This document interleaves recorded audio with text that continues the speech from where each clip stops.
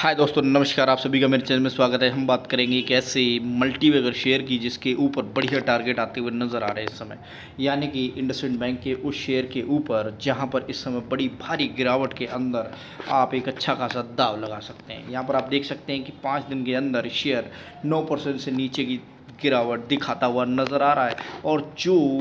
एक महीने के अंदर एक अच्छा खासा उछाल इस शेयर के अंदर आता हुआ दिखाई दे रहा था, वो नीचे की तरफ़ जाता हुआ अब नज़र आ रहा है। यानी कि एक्सपर्ट इस समय इस शेयर के ऊपर काफ़ी बुलिश नज़र आ रहे हैं और शेयर के अंदर, यानी कि मार्केट के अंदर जो खौफ है ना, उसकी वजह से आपको इस शेयर के अंदर बढ़िया दाव लगाने का मौका मिल रहा है। इस शेयर के ऊपर भाव आता हुआ नज़र आ रहा है, चौदह सौ साठ रुपये से ऊपर का। ये टारगेट इस समय ब्रोकरेज फॉर्म मोतीलाल ओसवाल की जी की तरफ़ से आ रहा है, जिसके अंदर आपको ये शेयर आने वाले टाइम में एक अच्छा खासा प्राइस दिखा सकता है। यानी कि इस शेयर ने जो यहाँ पर देखेंगे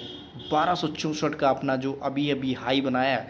वहाँ से अब इस शेयर के अंदर जो गिरावट आती हुई नज़र आ रही है, उससे आप ये समझ सकते हैं कि शेयर इस समय मार्केट की दबाव के बीच में हिचकोले खाता हुआ दिखाई दे रहा है। और बढ़िया मौका जो हम सब के लिए इस समय नज़र आ रहा है, उससे आप ये समझ सकते हैं कि शेयर ने अपनी जर्नी 22 जून 2022 से सात सौ से स्टार्ट की। और वहाँ से अगर आप देखें तो बढ़िया रिटर्न यानी कि 100 परसेंट तक के रिटर्न की जो गारंटी जो चौदह सौ पचास रुपये पर आपको मिलेगी ना, उस रफ्तार के लिए आप तैयार रहिएगा। यानी कि शेयर के ऊपर एक्सपर्ट्स और मार्केट के सभी सेगमेंट इस समय बुलिश होते हुए नज़र आ रहे हैं और जिस हिसाब से इस समय आपको जो गिरावट इस समय दिखाई दे रही है मार्केट के खौफ के बीच में, उससे समझ सकते हैं कि शेयर बढ़िया दाव लगाने का जो टाइम दे रहा है वो आप चूकिएगा नहीं। तो यहाँ पर आप देख सकते हैं किस हिसाब से शेयर के अंदर जो चौदह सौ बीस रुपये का जो टारगेट है वो आई सी सिक्योरिटीज़ ने दिया है और चौदह सौ साठ का जो टारगेट है वो मोतीलाल ओसवाल जी ने दिया है। ये आज के दिन की ब्रेकिंग न्यूज़ आती हुई नज़र आ रही है, जिसके अंदर इस शेयर के ऊपर टारगेट आ रहे हैं। और अगर आप इस शेयर के अंदर इस समय गिरावट में और ज़्यादा मौका देखते हैं तो डेफिनेटली आप इस शेयर के ऊपर नज़र रखिएगा और जहाँ कहीं भी और ये नीचे मिलता है तो लपकने में देरी मत कीजिएगा।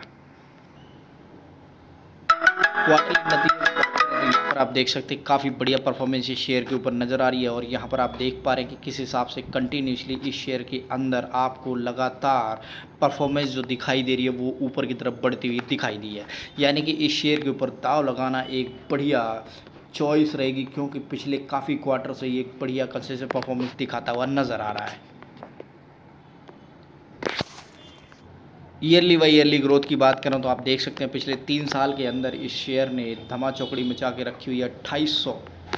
छत्तीस से चार हज़ार छः सौ ग्यारह और उसके बाद पाँच हज़ार दो सौ उनतालीस रुपये का नेट प्रॉफिट शेयर के अंदर से निकलता हुआ नज़र आ रहा है इस समय जो दिखाई दे रहा है उससे आप ये समझ सकते हैं कि शेयर काफ़ी बढ़िया